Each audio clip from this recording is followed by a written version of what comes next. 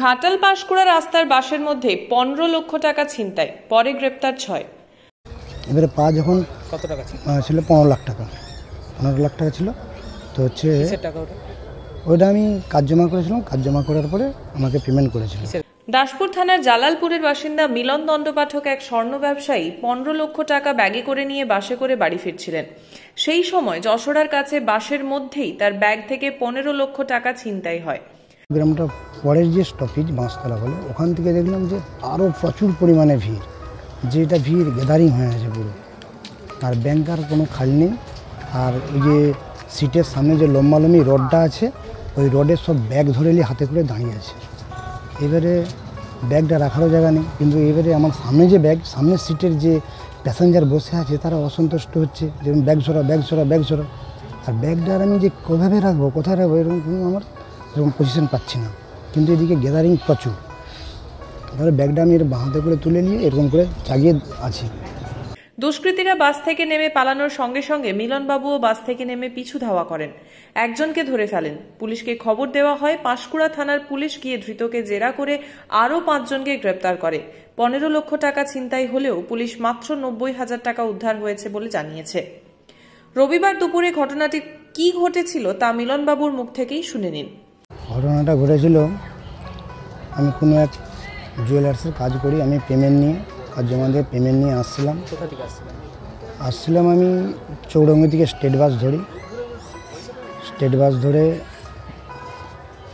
এতে নেমেছি মেচোগ্রামে নেমেছি। মেচোগ্রাম থেকে বাসে প্রচুর ভিড় ছিল। ভিড় থাকার পরে আমি দু তিনটা বাস আমি ছেড়ে দিয়েছি। ভিড়ের জন্য উঠিনি। তারপরে একটা রাধা মাধব নামে পাঁশকুড়া ঘাটাল লোকাল মানে ঘাটালগামী বাস ওইটা উঠেছি আমি। তো উঠে ভিড় যেহেতু, আমি কোনো রকমের ঠেলে ঠেলে ভেতরে ঢুকেছি। ভেতরে সামনে এই বুকে আমার ব্যাগটা রয়েছে। বুকে ব্যাগটা রয়েছে, ভিড় রয়েছে। আর পাঁচ ম্যাচোগ্রামটা পরের যে স্টপেজ বাঁশতলা বলে, ওখান থেকে দেখলাম যে আরও প্রচুর পরিমাণে ভিড়। যেটা ভিড় গ্যাদারিং হয়ে আছে পুরো। আর ব্যাংকার কোনো খালি নেই। আর ওই যে সিটের সামনে যে লম্বালম্বি রডটা আছে ওই রডের সব ব্যাগ ধরে নিয়ে হাতে করে দাঁড়িয়ে আছে। এবারে ব্যাগটা রাখারও জায়গা নেই, কিন্তু এবারে আমার সামনে যে ব্যাগ, সামনের সিটের যে প্যাসেঞ্জার বসে আছে, তারা অসন্তুষ্ট হচ্ছে যেমন ব্যাগ সরা ব্যাগ সরা ব্যাগ সরা আর ব্যাগটা আর আমি যে কীভাবে রাখব, কোথায় রাখব, এরকম কোনো আমার এরকম পজিশন পাচ্ছি না। কিন্তু এদিকে গ্যাদারিং প্রচুর। তাহলে ব্যাগটা আমি এর বাঁ হাতে করে তুলে নিয়ে এরকম করে চাগিয়ে আছি। তো দেখি যে বাঁ দিক থেকে চাপ, আবার ডান দিক থেকে পিছন থেকে চাপ আছে, প্রচুর পরিমাণে মারাত্মক চাপ। চাপের পরে এবার আমার এই পায়ে ঠিক যশোরা আসার এক মিনিট, দেড় মিনিট আগে আমার পায়ে পা তুলছে ঠিক আছে? পায়ে যে পা তুলেছে লাগছে, আমি পাশটা নিজে নিজে সরিয়ে নিয়েছি, তখন দেখিনি পায়ের দিকে, আবার সরিয়ে নিয়েছি, তারপর দ্রাম করে একটা লাথি মারলো পায়ে। যখন এবার পাতি পাটা দ্রাম করে লাথি মেরে চিপে দিয়েছে, তখন আমি বললাম, পাটা সরাও।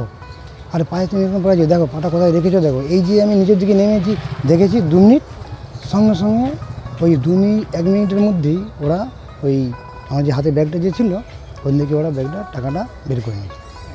এবারে পা যখন কত টাকা ছিল? পনেরো লাখ টাকা। পনেরো লাখ টাকা ছিল।